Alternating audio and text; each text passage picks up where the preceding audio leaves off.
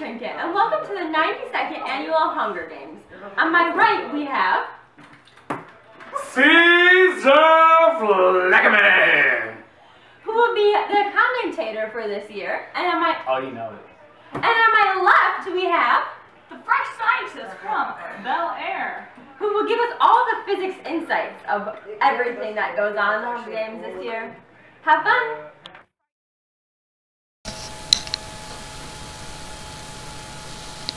Five, four, three, two, one.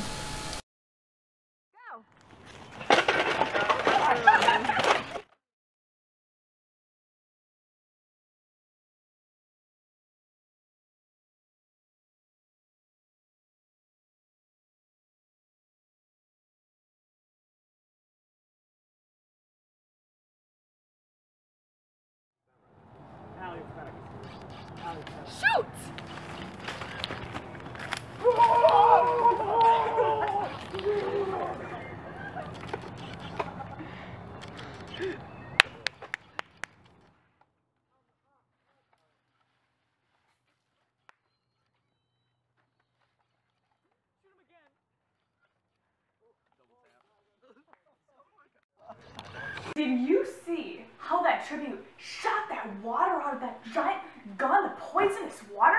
That was awesome. How did how did she do it? Wait, see, sir. I thought that was quite disrespectful. However, what happens is, uh, well, the back end of the water gun pushes water forward, and the volumetric flow rate at all points of a, a water gun has to be equal.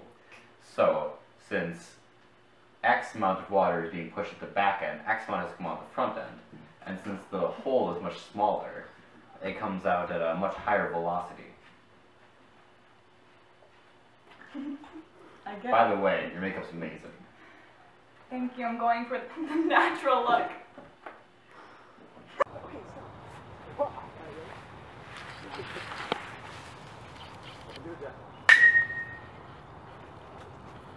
Oh no. I'm coming to get you guys! Ah! Oh my goodness! Did you just see that? First scientist from Bel Air! Did you see that tribute from District Negative Pi get shot?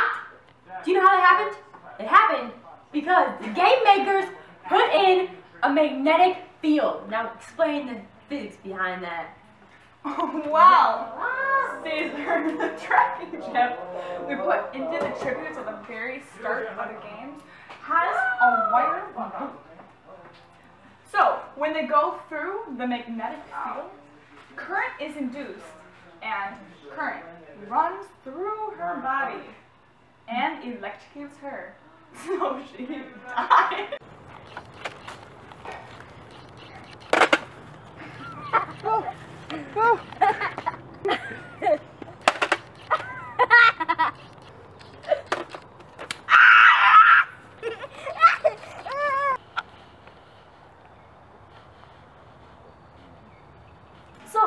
first scientist of Bel Air.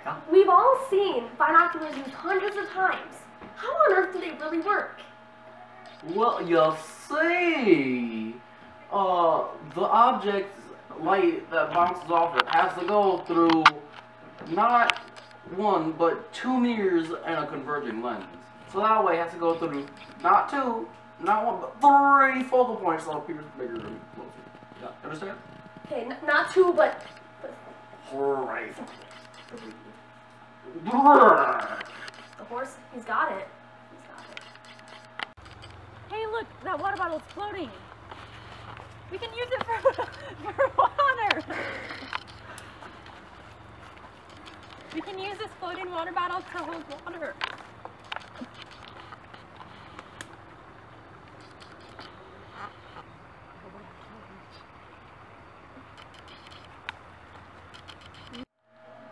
What just I'm so confused right now. How did it flow? What is going on?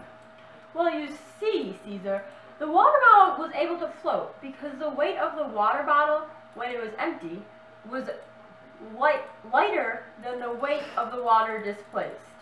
That's why it floated. That is wacky. Oh my gosh. What is going That is crazy. Oh my gosh, I'm so cold. Oh.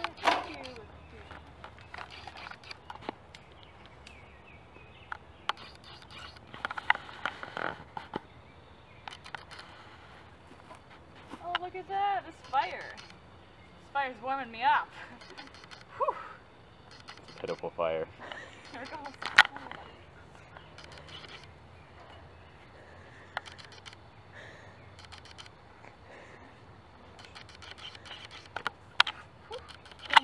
Here it goes. Warm. Oh my gosh, did you see that guy with the paper and the girl in the fire? How? That was amazing. How does that even make her warm? Well, you see, the heat from the fire heats up the particles within the air, which gives them more kinetic energy. And then as, as the particles have more energy, they collide more with the skin, giving her heat. That is fascinating. Ooh, look, a fish. Oh man, I missed. Oh man. Oh Jimmy, you're doing man. it all wrong. Since the air and the water have two different index of refraction, the light bends when it goes into the water. So you gotta spear it right there. I got it. we eat good tonight. Oh, hey, look, two people. I think could be our allies. Me totally. Hey, hey, you guys, over here. You guys want to be allies? Sure, Okay. come on. Sure. We can be friends. Negative pi, district, negative Pi. pi, negative one. Negative, negative one half. Oh my god, a gift from the sponsors. Let's go see what it is.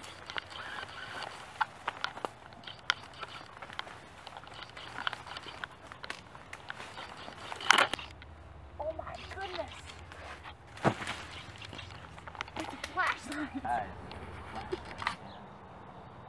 With this nuclear flashlight, we can make a nuclear bomb. Yeah, see, all we have to do is just hook up, uh, hook up the nuclear power source to, to the circuit, and we can, uh, we can overload the, the uranium, and it'll explode. Wait, but how does the circuit work? Oh, uh, that's long. Basically, there's just the wire, electricity is traveling from positive to negative end. Wow, it's, po- electricity is traveling from voltage sources, trying to compensate it to neutral charge.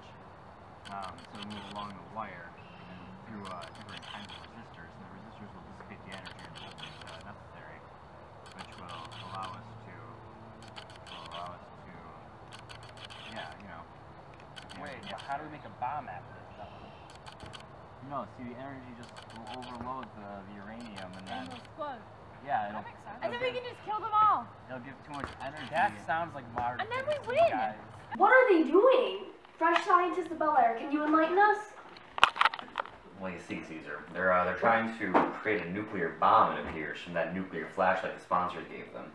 However, they're doing it all wrong. You see,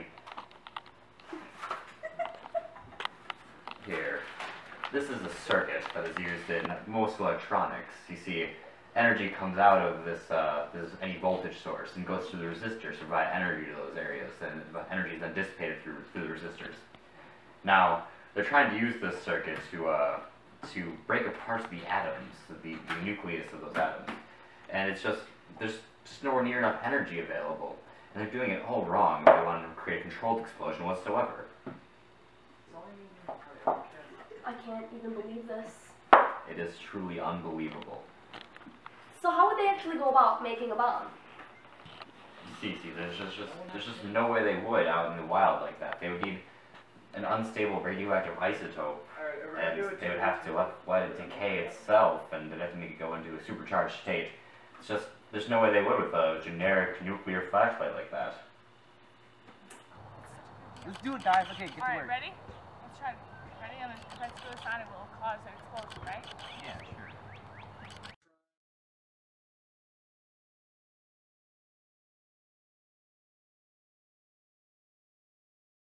Well, that was quite the Hunger Games. What do you guys all think happened? I have no idea what just happened. What? Like, who, They're all kind of dead. What do we do now? Well, scientists, I have no idea. I, I'm speechless. I don't know what to do if, if everyone's dead. This is an outrage.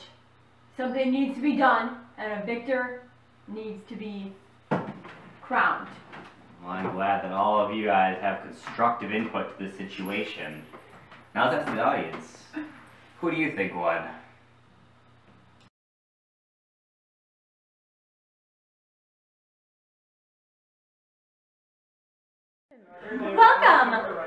Trinket. Welcome to the 92nd Annual Hunger Games.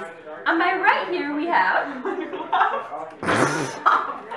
And from I can't remember what district from. He killed like four people. Oh, when he ran up and he just shanked that guy with that big old lightsaber. that girl, she couldn't kill him with her bow and arrow because, let's be honest, not a good shooter over here. Got his name up and wham! Wham! Got him. What? Oh my goodness! I know. Do you know how I got these scars? Back to the Hunger Games. My hair, my hair good. yeah, you're good. My makeup, okay. now back to the Hunger Games. You're gonna be Rue, okay? Your name is Rue. No. You're gonna be Rue? No.